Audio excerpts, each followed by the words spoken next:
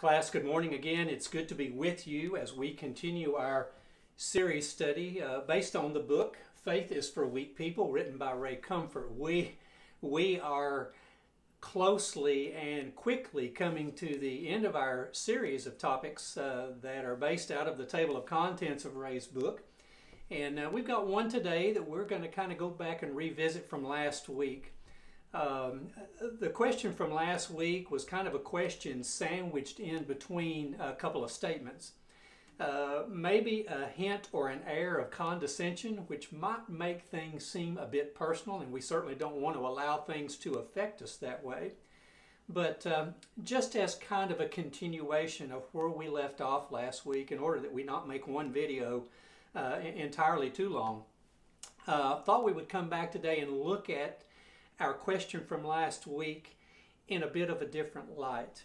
Uh, an opportunity maybe to further our discussion within someone who has uh, become humbled a bit in their uh, demeanor in the course of our conversation with them, or someone who came to us, uh, God sending them our way, or He placing us in their path as a genuine truth seeker. So, uh, let's pray together and we'll get started, okay? Father in heaven, thank you for uh, just gracing us with your sweet presence today. Thank you for the beautiful day you've provided. And we certainly thank you most of all for providing us Jesus Christ. And Father, for your precious word, of which you, Spirit of truth, Holy Spirit, can take and apply in our life in such a way that we can uh, be used of you to uh, apply truth and impart truth into the lives of others. Again, as we have said so many times, keep us focused on what's most important here you, your word, and the heart for lost people. Not knowing all the answers, not knowing how to debate, but uh, the heart for lost people. Keep us centered upon you and others, certainly more than us. That's our prayer. We ask all this in Jesus' name. Amen. So, again, faith is for weak people. Ray Comfort's book, we have covered almost the entire table of contents. And I think today might be the other exception. I think maybe there was one before where we actually took an extra week study to kind of explore the question. Don't want to talk this to death. So let's go ahead and, uh, and kind of look. Um, this was our question from last week. Seeing is believing statement, okay, kind of a defined statement. Here's the question why do I need faith? And here's why they ask the question that they ask faith is for weak people. I, I, I would. Uh, I would go ahead and insert something that we'll do our best to come back to a little bit later on. There's a difference between being weak and being meek. And we want to go ahead and put that out there now. And I want to be accountable to coming back to that a little bit later on. But we'll we'll use this as uh, the second part of our study today. And if folks who uh, offer the question between the two statements uh, is a bit uh, more feeling full of themselves, if you want to call it that, if they're feeling a little more brash and a little more confident in, in, uh, in offering what they believe to be true and how they feel, they might even go as far as maybe to back up the question between the two statements with something kind of like this. This not only seems foolish, okay, uh, you know, weak people, weak minded people, uh, this not only seems foolish, again, uh, God's choosing the foolish things of this world, a, a message uh, through the preaching of foolishness to people who don't know Christ uh, would seem foolish to them, certainly this not only seems foolish, it, it sounds childish. Okay. Uh, something worth exploring. Holy Spirit will take us there. Okay? So, from the Christ follower back to the skeptic, uh, or even again, a genuine truth seeker can sometimes portray themselves in one manner to kind of test the water with us in order that they can come around to the conclusion that, uh, okay, apparently not only do they believe what they're telling me to be true, but there's a sense of power under control here, meekness, poise, kind of a sports term that you may have heard before. Uh, where, the, where the game, if we're using an athletic type metaphor or illustration, doesn't get too big for us, where the circumstances of life don't seem to get too big in order that they alter our demeanor and our conversation. So, you know, we can come back around behind that and, and kind of quickly make a, an assertion here, a, a statement. Listen, faith is not childish, but it is childlike. Now, that might get some wheels turning a bit, and we certainly hope that it will. And, and, we might even alter the title a little bit, and I think Ray Comfort would allow us a little, uh, uh, provide us a little grace here. Uh, hey, we might even come on the heels of that and say, you know, actually, faith is for childlike people. Now, you need to be prepared to take it somewhere from there. And God's Word, again, with the leading of Holy Spirit, our Spirit of truth, uh, He can take us where He wants us to go and where He wants to lead them to. Again, Holy Spirit does what? He testifies to a person, about a person, Jesus Christ. He's also there to bring to our remembrance the, the things that Jesus said, and we have the Bible as a collection of those things. Old Testament pointing toward the coming of Messiah Jesus, and then New Testament he arrives. He, he pays for our sin on the cross. Uh, the good news of the gospel is proclaimed and then furthered on through the lives of the disciples and, and the writers like Paul. So, childlike people, hey, we hope that gets some spiritual wheels turning. In fact, we, we, we could even maybe coin something here that before one can enter God's kingdom, before one can claim with affirmation, assurance, and confidence that heaven will be their home one day. Before we can ever become a Christian, listen, we've got to essentially stoop down, lower ourselves, be humble, be humbled. However, you want to look at that uh, before entering, we need to stoop. Now, that may be a little bit more than a person who doesn't know Christ can process at that particular time, but I think you'll get the idea as we continue to move forward. A beautiful passage of Scripture, as they all are, is out of Matthew 18. In my study Bible, which is a MacArthur, uh, we have the heading here of these particular verses of Scripture instruction about humility. In other words, uh, being humble is seeing ourselves as God sees us. Uh, he knows who we truly are, and and when we understand how totally dependent we are upon Him for the help that we need in life, we'll see ourselves in, in a more appropriate light. Uh, pride actually being the antithesis of humility, uh, uh an overinflated, inappropriate uh, assessment of oneself. But uh, this is what Matthew writes in chapter 18, starting in verse 1. We'll key on a few verses here in just a moment. But it says this At that time the disciples came to Jesus, saying, Who then is the greatest in the kingdom of heaven? This particular matter about being great in the kingdom uh, was not really a, a noble question it, came out of a sense of pride, if you want to call it that. There was actually, I guess you could say, maybe a little bit of a competition within the group of disciples at that particular time. Some felt like they were entitled to some place, uh, a position of authority in heaven. And um, so this became uh, uh, uh maybe a contentious back and forth. Jesus could sense this, and I think uh, out of that understood fully, they're just not quite getting not only what I'm saying, but why. But in verse 2 of Matthew 18, he says, Then Jesus called a little child to himself, to him.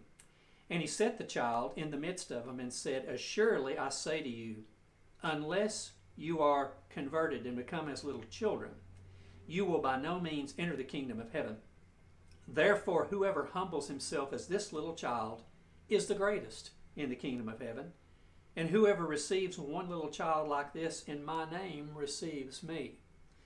Now, when you look at the earthly life and the ministry of Jesus, and you you see how Jesus reacted when children were nearby, it might not be a stretch of the spiritual truth to say that uh, maybe Jesus esteemed children as much or maybe more than any demographic, any group of people that we know of. I've got this in my spiritual mind and imagination that uh, anywhere that Jesus might have been, I don't think children were, were far away. Uh, I feel like he was just like, uh, there was a magnetism about Jesus and children. I think wherever Jesus might have been, if he was in was inside of children, I, I believe they wanted to make their way over to him. I think there was something about the youthful exuberance of a child, their energy and their enthusiasm, their carefree nature that Jesus was drawn to as well. And, and he's using this illustration, this out of the Christian Standard Bible. I just read out of the New King James, that, uh, you know, he had that child come over and stand in the midst of them. And, and again, a bit of a different translation, you know, Jesus said, Truly I, I tell you, unless you turn, unless you repent, and you become like children, you're never, ever going to enter the kingdom of heaven. That had to be a curious thing for Jesus to say. So, understanding the custom of the day, if you want to look at some historical content, it was quite common, uh, Jewish custom, that parents would bring their children of various ages to the rabbi or to the teacher in order that he could extend to them some sort of a blessing. So, you know, this particular setting, uh, not anything uncommon. We also know that the disciples had this feeling about them that, uh, you know, anytime that Jesus maybe had some time to himself, you know, they, they almost would take it upon themselves to kind of protect that time, if you want to call it that.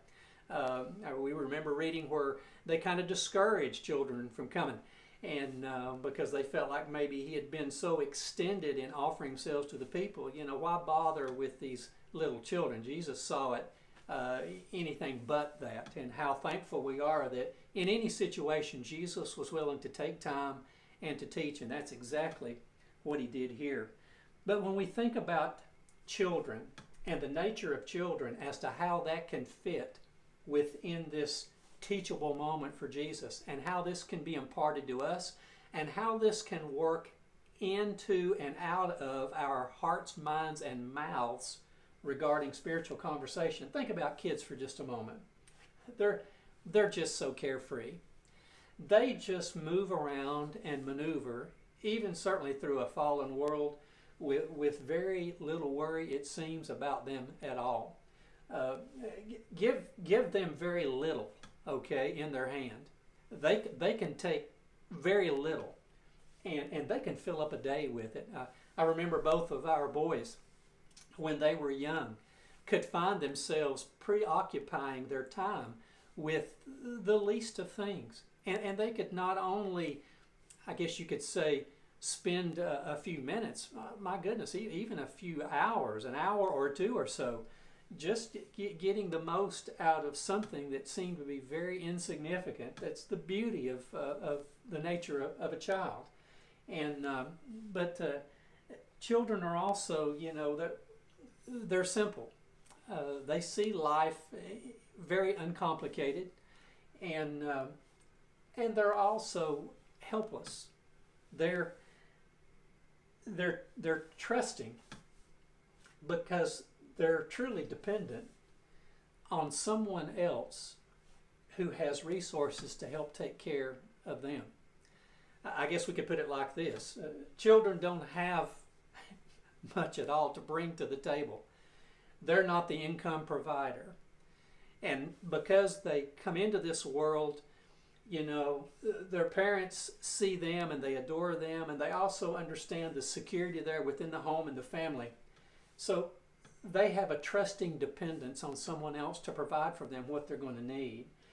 And they also really have nothing uh, with regard to achievement or accomplishment to offer or commend themselves with.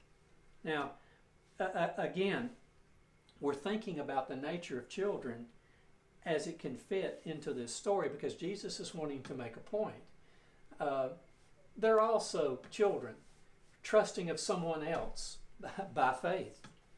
to see them through, to keep the promises made for them.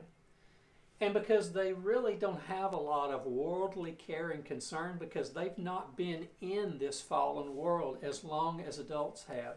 Some have said it like this they've not been in the world long enough to be stained by it. I, I like that. Uh, but because they've really not uh, acquired a lot of the burden of this world, they, they worry less.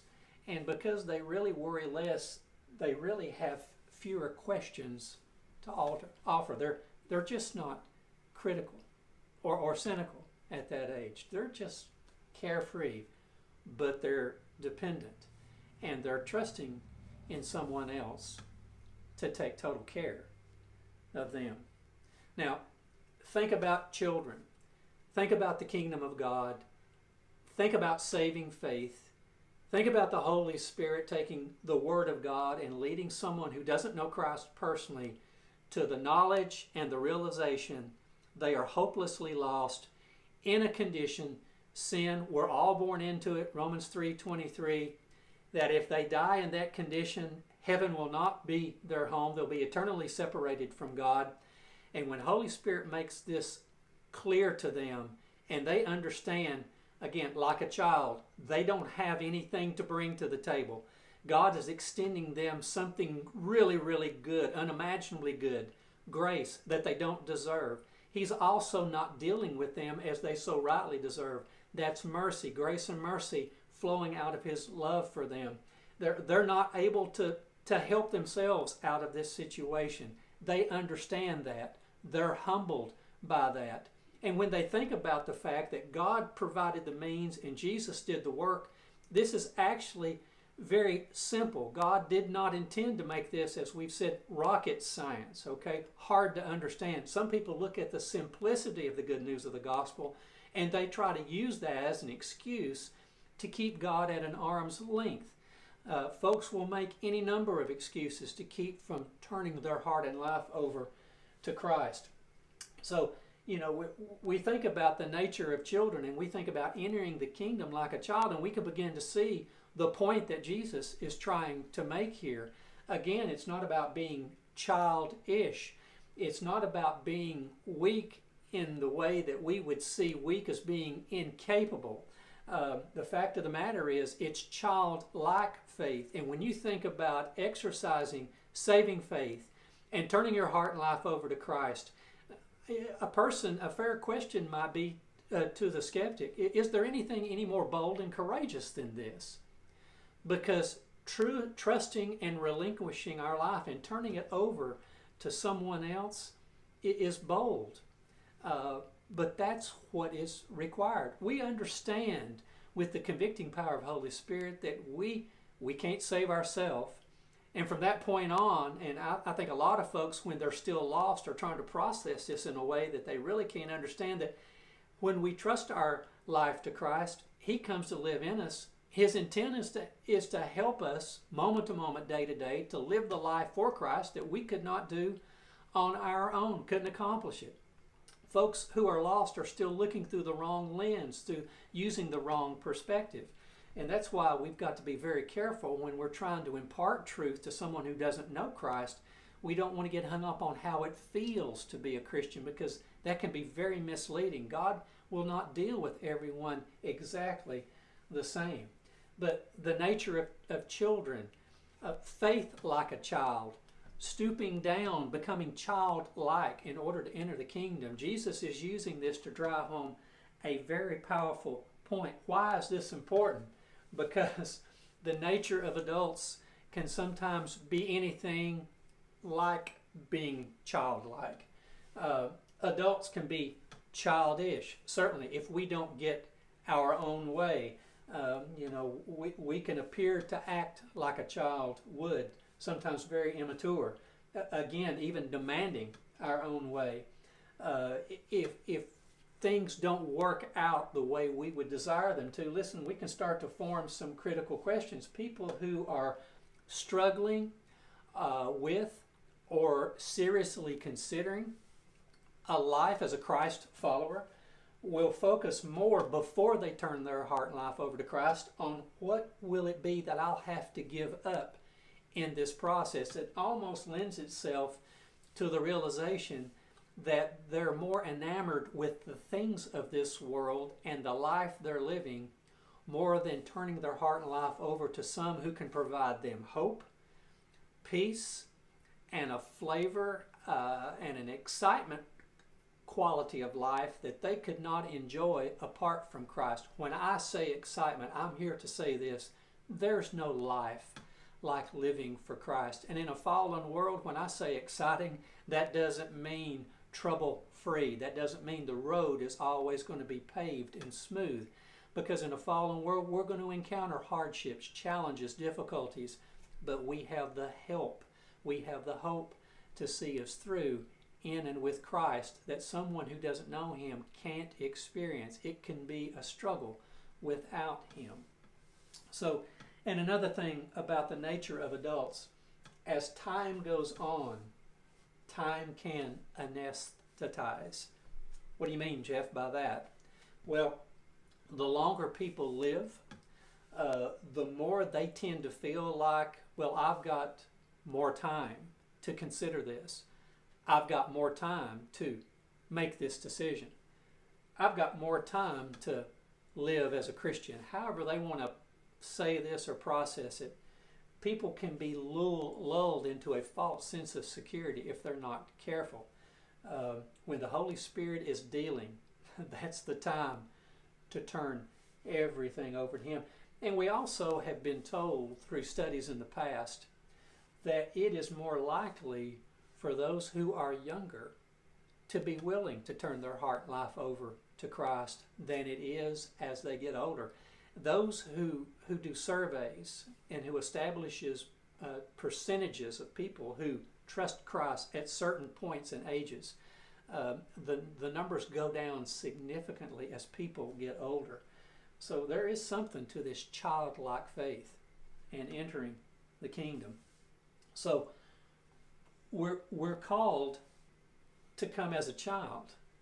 But when you think about what we're told in Isaiah 55, verses 8 and 9, listen, God's ways and thoughts are unimaginably, infinitely higher than ours. So even though this is childlike faith, listen, we are being called to a much higher place. Uh, this doesn't make us God, it doesn't make us a God. But what this enables us to do after we turn our heart and life over to Christ is we receive the indwelling presence of the Holy Spirit, the wisdom of God that we can rely upon to help us know how to navigate and live in a fallen world we can understand better the way God would want us to think and how He would want us to act and react as life plays out here in this world upon which the curse of sin resides. So, hey, even though we come as a child, listen, with Christ, in Christ, we're called to a much higher place. Uh, we're also alluding again to the indwelling presence of Holy Spirit, referred to as Spirit of Truth takes the Word of God, the truth of God, makes it palatable, makes it relevant, enables the child of God to take the Word and stick it to life. One of the great benefits of being a Christian, uh, maybe the greatest benefit, is having the indwelling presence of Holy Spirit. Listen, God, Holy Spirit, is the third person of the Trinity. And again, his purpose is to testify about the person of Jesus Christ. So from Isaiah 55, we're being called from a place to a person. Holy Spirit can make that uh, possible.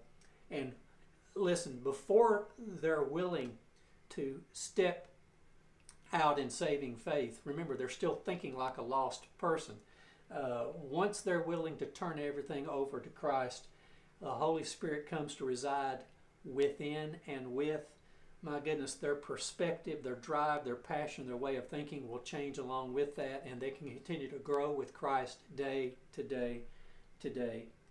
And out of our personal testimony as we go through life, uh, when these opportunities to witness come up, we can be out of being affirmed in our own personal experience. And listen, we're not talking about we're, we're not talking about trying to describe a feeling here we're just trying through our confident hope and expectation the confidence that we have that Holy Spirit is there with us and directing us, the power that we can receive to, to do life in Christ. We're promised that we will receive everything we need to live a life in Christ Jesus.